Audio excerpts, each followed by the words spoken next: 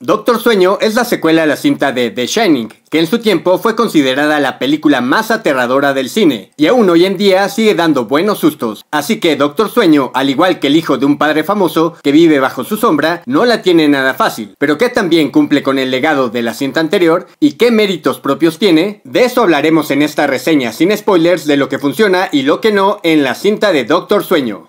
Empezando por lo positivo, el personaje que más resplandece en la historia, si me permiten el juego de palabras, no es uno de los que tienen el poder del resplandor, sino la villana Rebecca Ferguson, quien interpreta a Rose. La actriz no solo tiene las cualidades físicas del personaje, una mujer bella a la cual es difícil determinarle la edad, sino que también es intimidante y transmite mucha seguridad, y al mismo tiempo su personaje es dulce, muy libre, casi espiritual y crea cierta empatía como la líder y madre de su grupo al que trata como una familia, a pesar de las atrocidades que cometen en la cinta.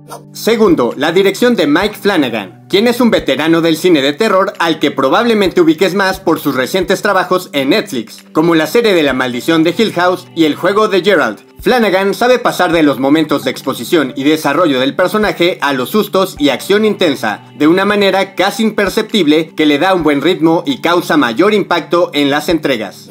El punto 3 es precisamente cómo logra hacer esto Flanagan, que es con la atmósfera precisa para cada ocasión, tanto en los momentos sobrenaturales como en lo cotidiano, y pasando de uno a otro muy bien gracias a su buen manejo de cámara con el que cambia de ritmo y crea escenas muy interesantes. También hay que reconocer el trabajo del diseño de los sets, lugares que comunican y de tan solo verlos te hacen entrar en el ambiente. También la fotografía, con una iluminación que crea atmósfera y no se escuda solamente en las sombras para sacarte sustos, y el vestuario que es preciso para cada época y tipo de personaje.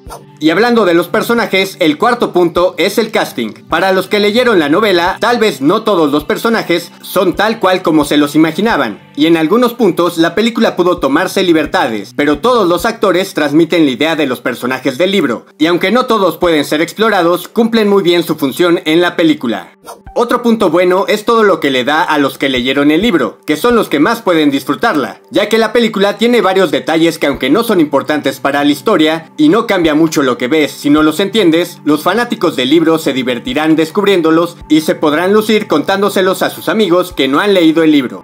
Sexto punto, la visualización de los poderes. Un escritor puede poner en papel lo que guste y dejar que cada quien se lo imagine como pueda. Stephen King imaginó varias imágenes sobrenaturales alrededor del poder conocido como el resplandor, y Flanagan las plasmó muy bien en la pantalla, usando muchos efectos prácticos y algo de efectos por computadora, con lo que logra que todos entendamos qué poderes estamos viendo y cómo funcionan.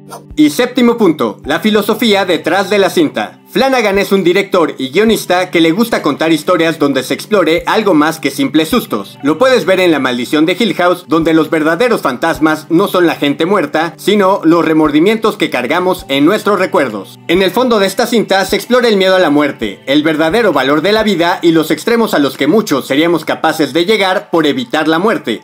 Ahora vamos con lo malo. Y el mayor problema para mí es que adapta una novela que es demasiado larga para una cinta. El guion trata de complacer demasiado al autor del libro y muestra varios detalles que en el libro eran buenos capítulos, pero que en la película son innecesarios. Por un lado, se agradece que profundice en los personajes, pero al mismo tiempo esto alarga mucho la película y es un poco frustrante saltar de un personaje a otro esperando el momento en el que por fin los veremos interactuando juntos en pantalla. Por eso siempre he creído que en el cine solo se pueden adaptar cuentos cortos y las novelas deben dejarse para las series.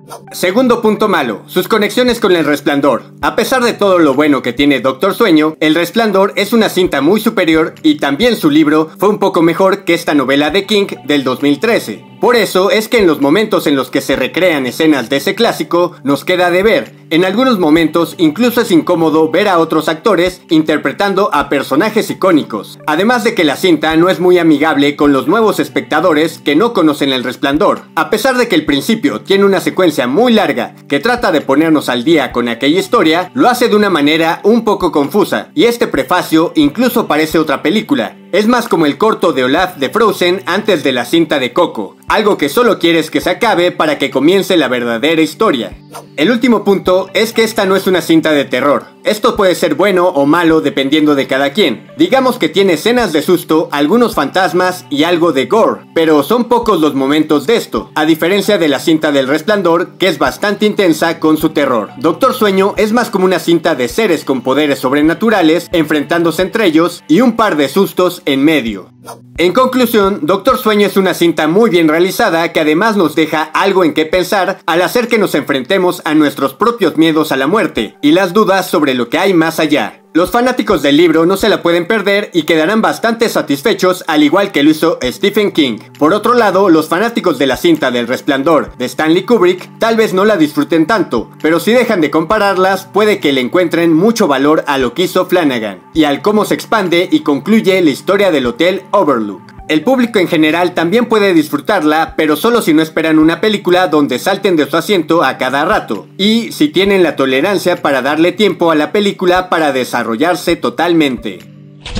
Pero esa es mi opinión. Si ustedes ya vieron Doctor Sueño, díganme qué opinan en los comentarios. Y para más videos con reseñas, secretos y noticias de tus series y películas favoritas, suscríbanse a este canal. Gracias y hasta la próxima.